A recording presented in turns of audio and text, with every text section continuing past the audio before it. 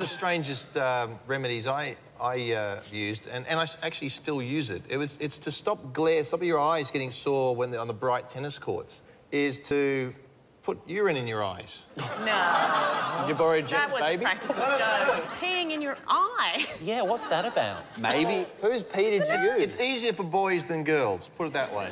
Actually, I assumed there was a, a couple or something involved. I didn't know you were going straight into the eye. At least, at least an eye dropper Eye or drop. something for accuracy. But it is, it's a urine therapy was something they used for a long time ago, thousands of for thousands of years. The yogis used to do it. You pee in the shower, you just splash some in your eyes, quick for a second, and then you wash it out, and uh, your eyes absorb some some chemicals and nutrients, I will never try that, but thanks.